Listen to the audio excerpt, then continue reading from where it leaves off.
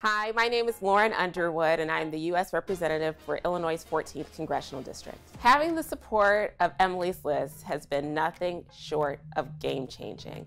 From the moment that they endorsed my campaign in 2018, I felt uh, buoyed, felt like folks had my back, and knew that I was running a strong enough campaign where I could win. Um, I'm so grateful for the constant presence of the Emily's List team and the tremendous network of Emily's List supporters around the country who are united in our shared values around supporting pro choice Democratic women.